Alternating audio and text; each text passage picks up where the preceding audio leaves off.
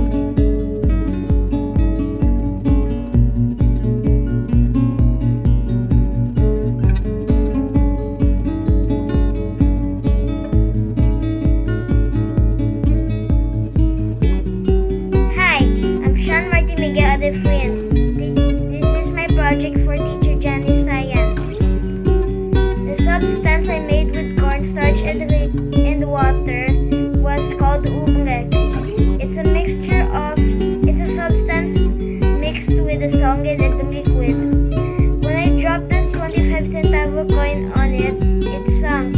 But when I put pressure on it, I couldn't get it out. When you put pressure on the oobleck, it's hard,